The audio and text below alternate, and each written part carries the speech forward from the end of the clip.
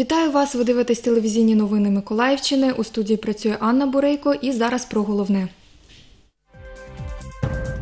Снайперські курси для десантників. Перші учні бійці 79-ї окремої аеромобільної бригади.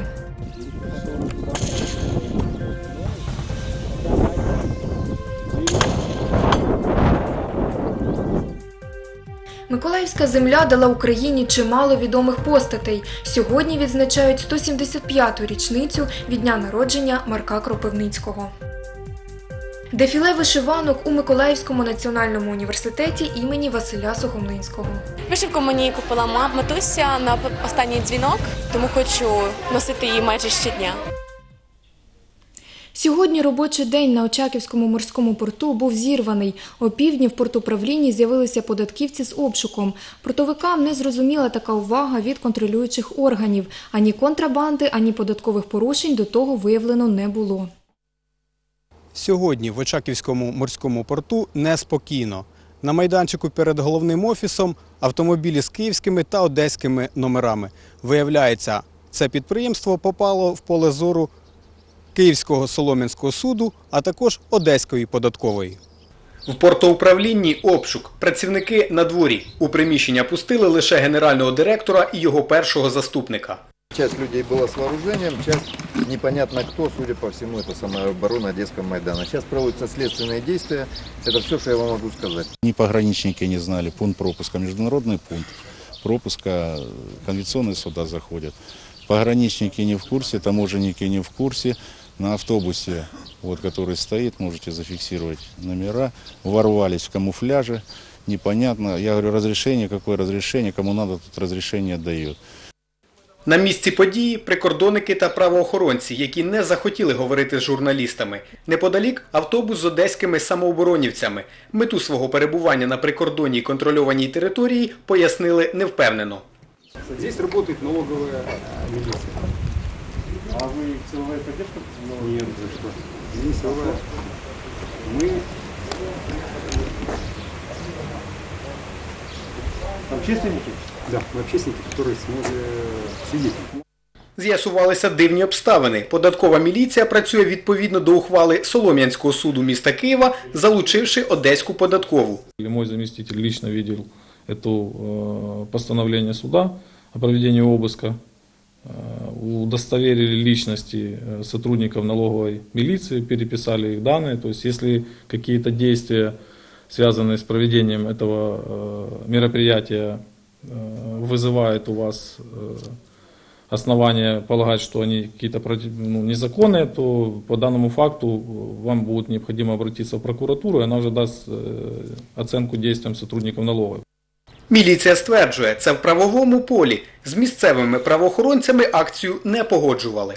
Постановления судов о проведении обысков э, подлежат к исполнению на территории любого э, административной территории любого э, региона Украины. То есть независимо от территориальности. независимо, да. Третій тиждень поблизу порту діє самовільний блокпост, нібито одеських самооборонців, нібито для протидії контрабанді пального, про яку останнім часом заговорили в ЗМІ. На підприємстві це заперечують і скаржаться на таких непевних сусідів. Кажуть, займаються лише перевалкою продукції з корабля на пірс. Розмитнення і прикордонний контроль це робота відповідних відомств. До сьогодні Очаківський морський порт не мав жодних виявлених і доведених у суді фактів контрабанди пального это погранично контролированный, контролированная территория. Вот. Таможенный пункт пропуска. Такого, что кто-то незаконно или противозаконно заехал без разрешения таможни или пограничников за все существование, по крайней мере, сколько я работаю, не было ни одного факта ни одного случая. Портовики таку нездорову увагу до свого підприємства пояснюють бізнес-інтересами осіб вищих ешелонів влади, а також вигідним географічним положенням самого порту. Поки що податкова перевірка триває. Олександр Молодцов, Сергій Єрмаков, телевізійні новини Миколаївщини. Волонтери Combat.ua організували повноцінний снайперський курс. Протягом 30 днів хлопців навчають маскуванню, стрільбі, стратегії та тактиці. Перші учні – бійці 79-ї Миколаївської окремої аеромобільної бригади.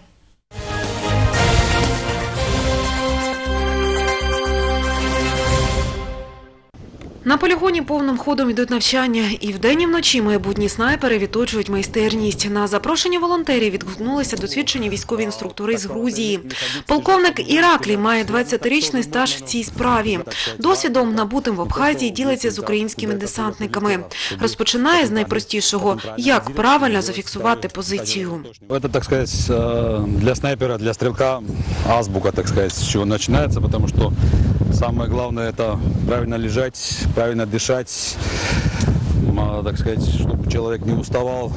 Серед тих, хто зараз проходить курс снайперської підготовки, бійці, які вже були на сході. Десантник з позивним «Гром», хоч і має значний військовий досвід, втім, удосконалювати свої навички ніколи не пізно. До того ж, чоловік після тренувань знову відправиться на схід. Я туда э, как минимум езжу ради Украины, а как максимум ради своих погибших друзей. У меня эта жена прекрасно понимает тоже, она ни разу мне не сказала нет. Всі учасники зборів пройшли жорсткий відбір. Крім того, під час навчань із снайперами проводять низку тестів, що виявляють їхні психологічні та фізичні здібності. За тактичним задумом група противника виявила місце дислокації. Під кулями десантник повинен виконати завдання.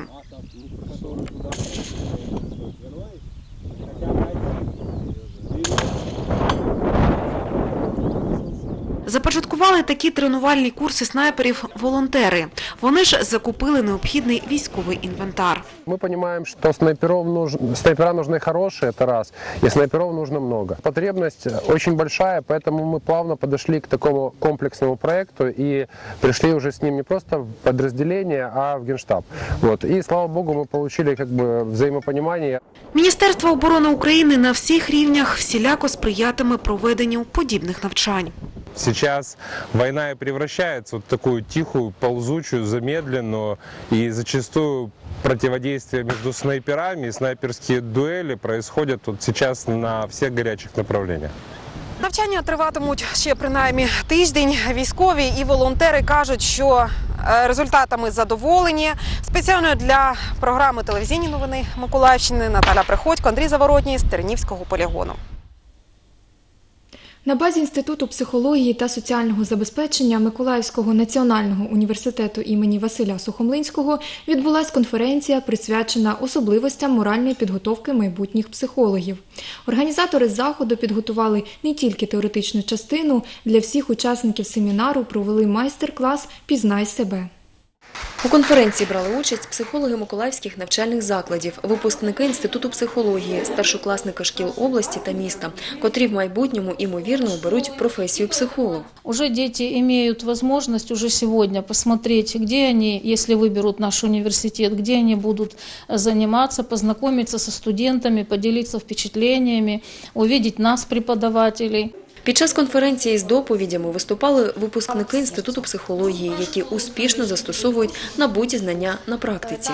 Мы были уже в двух школах, э, мне там очень понравилось. Во-первых, это была патриотическая тема, она сейчас очень актуальна, и донести это детям очень тяжело, потому что родители в каждых семьях показывают детям это с одной стороны, мы как учителя младших классов должны показать этим совсем с другой стороны и понять, что это очень важно, и что важно не то, что ты носишь эту ленточку, а важно, что внутри.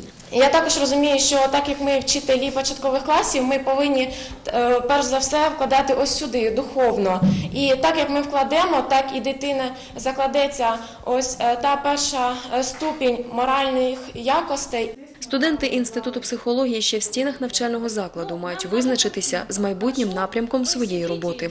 Для цього необхідна практика в соціальних установах. Мы с нашим факультетом с Ириной Сергеевной в голове ходим э, э, различные дом престарелых, э, в дом малютки. Мы там э, получаем огромный опыт, который в будущем нам пригодится в нашей профессии. Готують майбутніх психологів для роботи з різними групами населення, враховуючи вік та соціальний статус людей. Для этого мы проводим и волонтерскую работу, как уже говорили студенты, для того, чтобы каждый студент мог понять, в какой социальной практике он может быть более успешный. Після конференції для її учасників провели майстер-клас Пізнай себе, під час якого за допомогою самоаналізу, самопізнання через музику і образи майбутні психологи досліджували власні відчуття і емоції. Адже, як кажуть самі лікарі душі, психолог як ніхто має розбиратися в собі, аби допомогти іншим. Наталія Якобсон, Артем Білібов, телевізійні новини Миколаївщини.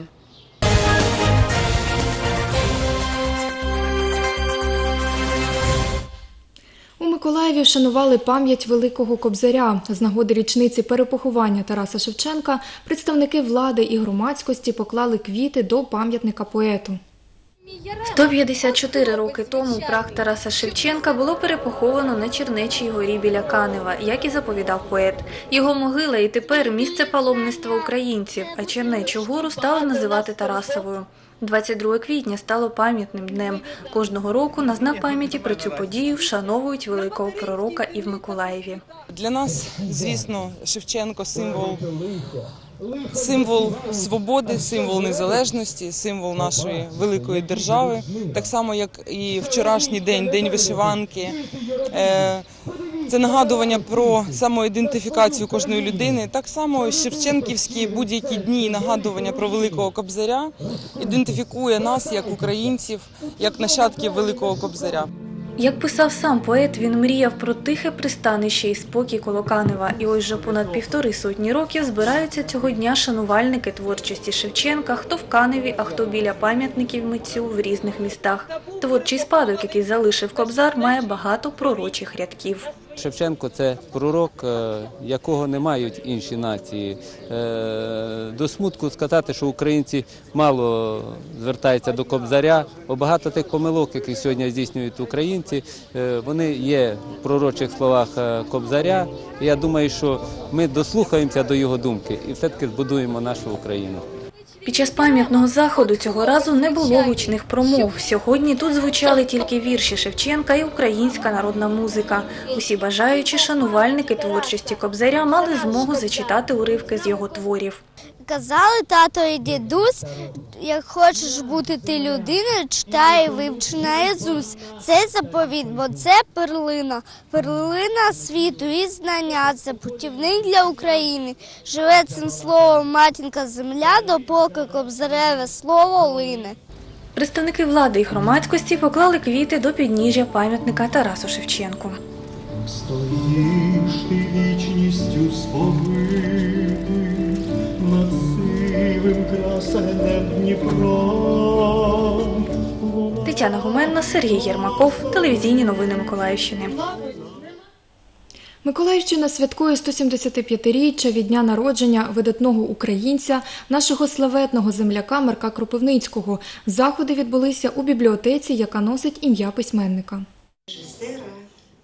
Миколаївська земля дала Україні чимало відомих постатей, серед яких видатний корифей українського театру Марко Кропивницький. Народився на Кіровоградщині, але дитинство та юність провів на території Миколаївської області у Вознесенську. Саме тут почався його творчий шлях. У Максима Тадеєвича Рильського є такі, е, є такі вірші, присвячені Марку Лукичу, де така, е, так, так, такий рядочок Блажен народ, що мав такого сина. Це насправді. І закінчується цей вірш тим, що е, новими квітами і колоссям ми вплітаємо в безсмертя, в його безсмертний вінець Бібліотека імені Марка Кропивницького влаштувала для гостей міста велику творчу програму. Концерт, зустріч з цікавими миколаївськими письменниками, виставку декоративно-ужиткового мистецтва, вишиванок, книг. Ми організували етнофолк-виставку, ем, ем, намагалися е, створити атмосферу, яка притаманна була кінцю 19-го, початку 20-го століття. Марко Кропивницький заклав, так би мовити, фундамент українського театру. Був блискучим актором, композитором, співаком. Його праця надихає сучасне покоління до творчих надбань і надихатиме ще не одне десятиліття. Юлія Анісімова, Юрій Руденко, ТНН. Студенти України провели естафету єдності. На Миколаївщині відбувся її заключний етап. Гості з університетів Рівненщини, Чернівців, Ужгороду матимуть можливість побачити унікальні місця області, Головна мета єднання студентства півдня та заходу, ознайомлення з культурою та обрядами міста, у якому побували учасники естафети. Студенти вже побували у кількох містах України. Це дуже важливо, щоб знаходити точки взаєморозуміння, взаємопідтримки, взаємодовіри, тому що саме в цих речах є наша спільна сила, і з допомогою якої ми зможемо змінити нашу країну. Ми дуже раді і гордимося участі в цій естафеті. Вона підтверджує те, що ми єдині, і в цьому наша сила. Культурно-розважальна програма та інші заходи відбуватимуться за підтримкою ректора університету імені Василя Сухомлинського Валерія Будака. Для гостей була підготована дводенна екскурсія по місту Очаків та найвидатнішим місцям Миколаєва. Юлія Анісімова, Юрій Роденко. Телевізійні новини Миколаївщини. Ніч у бібліотеці або бібліосутінки захід з такою назвою відбувся у Миколаївській обласній універсальній науковій бібліотеці імені Олексія Гмирьова. Відвідувачі книгарні мали змогу не тільки почитати улюблені книжки, кожний відділ бібліотеки підготував тематичні заходи, цікавих гостей і подорож лабіринтами Гмирьовки, що є недоступним читачам у звичайні дні. Під час бібліосутінок правило, яке говорить у бібліотеці слід зберігати тишу, не дійсне. Вже перший захід можливо було відшукати на слух під звуки безсмертних класичних шедеврів Чайковського. Відкрили конференцію концерт, де закінчуються слова, починається музика. Мы ус- не только услышим э, исследовательские работы наших э, искусствоведов, которые являются членами Союза композитора, но и э, музыкальные иллюстрации э, к этим исследованиям, музыкальные произведения Петра Ильича Чайковского. Конференцію присвятили саме Петру Чайковському. У травні виповнюється 175 років з дня його народження. Миколаївські дослідники-музикознавці розповіли присутнім про маловідомі факти життя та творчості видатного композитора. И сегодня мы очень рады предоставить э, возможность жителям нашего города услышать наших замечательных исследователей, музыковедов, которые расскажут о множестве любопытнейших, малоизвестных нюансах творчества Петра Ильича Чайковского. А мы, в свою очередь, можем поделиться сокровищами нашими, нашими информационными. У рамках бібліосутінок відбулась зустріч з миколаївськими колекціонерами рідкісних видань та експонатів. Письменник Євген Горбуров на зустріч із читачами приніс унікальну книжку. Свого часу Володимир Рюмін отримав її в якості нагороди за значні досягнення в навчанні по закінченні училища імені Білінського. Казалось бы, для одних обыденно посмотрел, книга, награда, она ничего не говорит. Она говорит о том, что существовали и такие виды наград, не обязательно ордена и медали. Не каждая областная библиотека может по- похвастаться таким количеством редких уникальных изданий, как наша библиотека. У книгарні зберігаються десятки тисяч унікальних видань, побачити котрі в звичайні дні відвідувачам не так просто. Для цього існує ніч в бібліотеці, тож читачам надали змогу погортати сторінки рідкісних книжок, яким більше ста років, а також краєзнавчі рукописи наших видатних земляків. Цього вечора можна було завітати до літературної кав'ярні, побувати на різноманітних майстер-класах і навіть взяти участь у бібліоквесті. Наталія Якобсон, Сергій Єрмаков. Телевізійні новини Миколаївщини.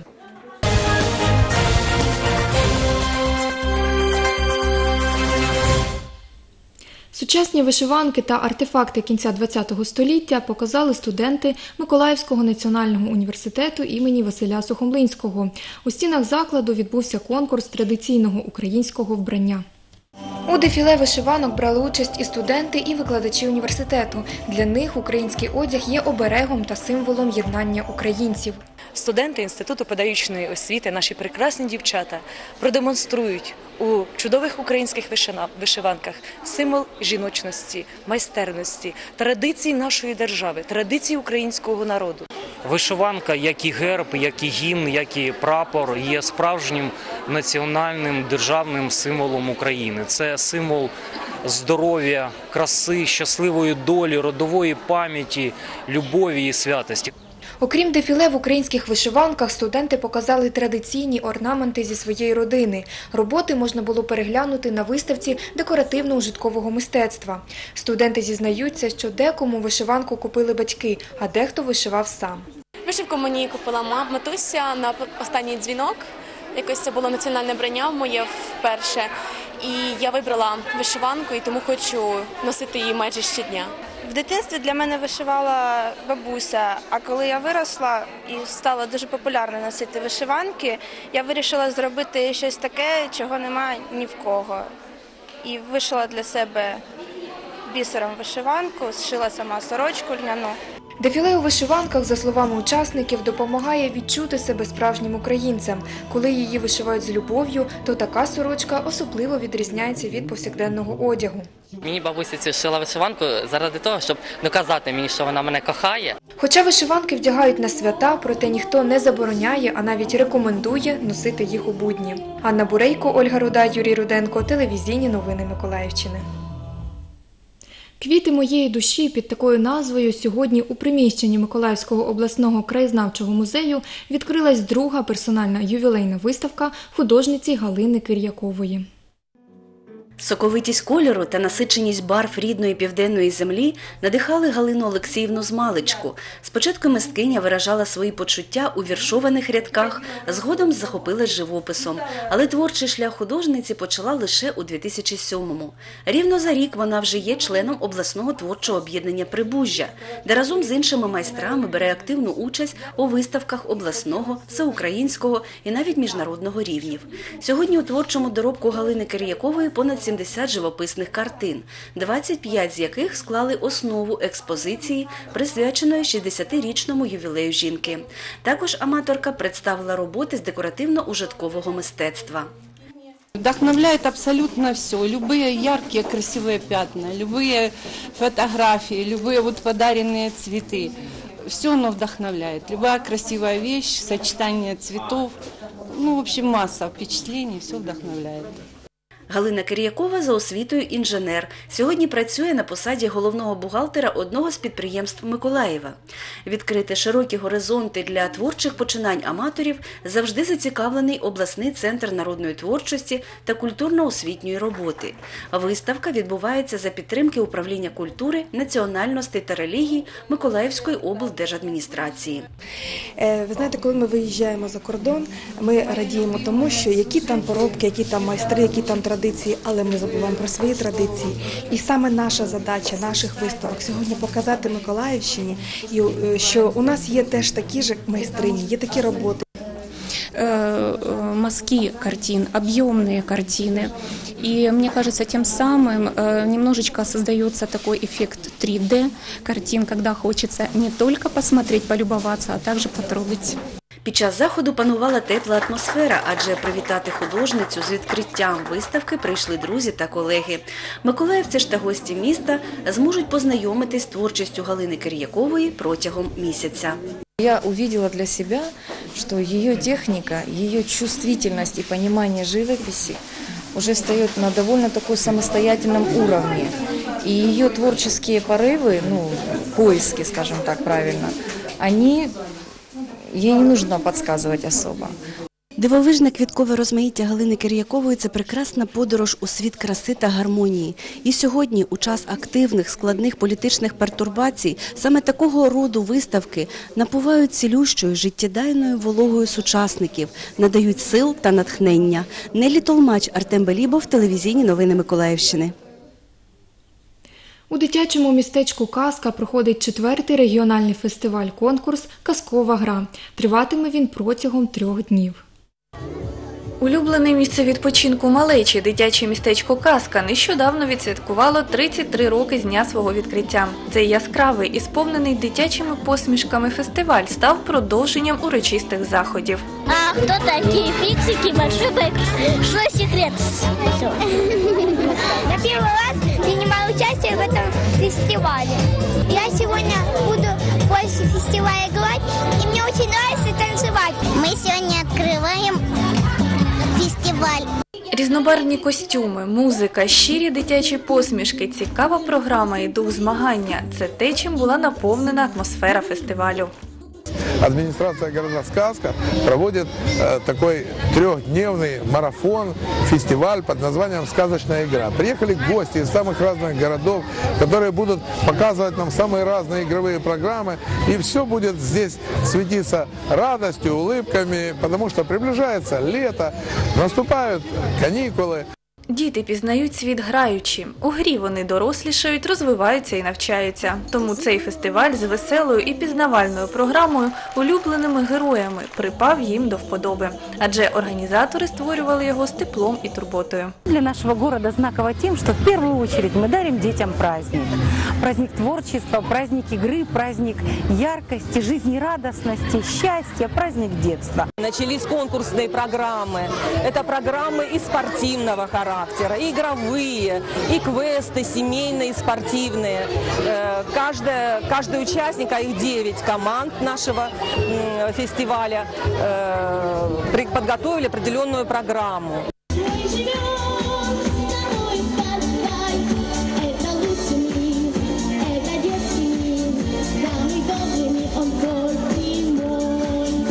Боротьба на майданчиках триватиме протягом трьох днів, і вже в суботу відбудеться заключний концерт та нагородження переможців. Тетяна Гуменна, Андрій Заворотній, ТНМ. І це були всі новини на цю хвилину. Бережіть себе і на все добре.